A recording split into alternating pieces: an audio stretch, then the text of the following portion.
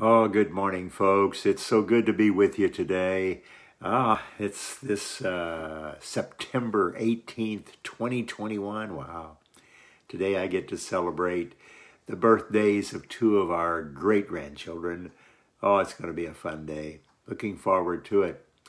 Today I want to uh, just, this is a great passage in uh, 2 Peter chapter 1, beginning with verse 16 where it, it talks about evidence, evidences of that the prophecies were real, evidence that Christ was real.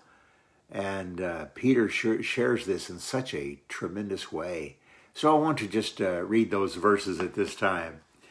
Uh, 2 Peter 1, uh, beginning with verse 16. For we do not follow cleverly devised myths when we made uh, when we made known to you the power and coming of our Lord Jesus Christ. But we were eyewitnesses of his majesty. For when he received honor and glory from God the Father, and the voice was borne to him by the, the majestic glory, quote, This is my beloved Son, with whom I am well pleased. We ourselves heard this very voice borne from heaven for we were with him on the holy mountain. And we have the prophetic word more fully confirmed, to which you will do well to pay attention, as to a lamp shining in a dark place until the day dawns and the morning star rises in your hearts. Knowing this, first of all, that no prophecy of Scripture comes from someone's own interpretation for no prophecy was ever produced by the will of man, but men spoke from God as they were carried along by the Holy Spirit. A lot of good stuff here, and and this is a, a, a passage of evidences. Peter is sharing what he saw, and it truly was a great thing. I mean, he saw it happen. He was there. He was firsthand.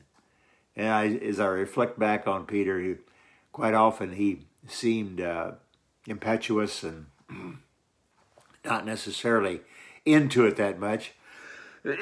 but in reality, he grew through that whole process. Excuse me. He was an eyewitness to the majesty, it says here. Because what did he read? Uh, and you know, I, I, I reflect back on that particular uh, incident in which Peter was on the mountain with Jesus and other disciples, and and uh, Jesus was there when the Father in heaven spoke, "This is my beloved Son, in whom I am well pleased," and Peter heard it, which is evidence of of Christ's uh, great majesty of who he really is. And uh, then this is this prophetic word, the word of God, from Genesis to Revelation, was not breathed by the will of man, but it was uh, breathed by God through His Holy Spirit, and, and so we need to pay attention to the words of God.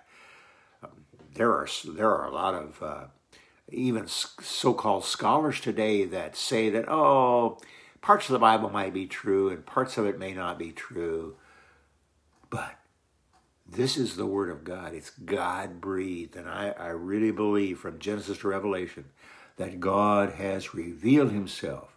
And the inerrant word of god gives us the truth.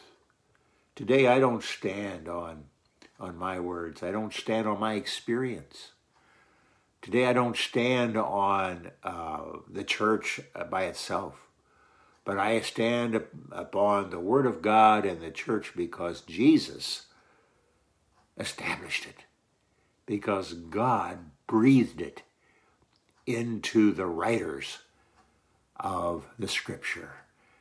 Oh, it, it's, it's a wonderful thing, and what an assurance that we have today.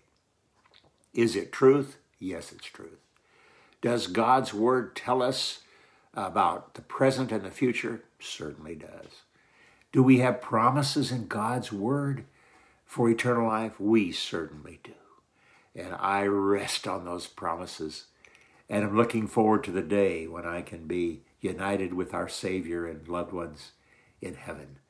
Oh, what a what a glorious uh, testimony from the Apostle Peter as he shares in this second chapter of who Jesus is, what the Word of God is, his prophecy, and that it was not by the will of man, but it was from God through his Holy Spirit. Oh, what a comforting and powerful words. Hope you have a good weekend. Encourage you to come and, uh, and worship with us as the message will be brought on uh, at 9 o'clock and at 10.30 on the first uh, session of The Chosen.